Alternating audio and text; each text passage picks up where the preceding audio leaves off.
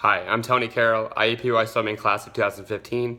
Thank you so much for supporting IEPOI Jaguar student athletes.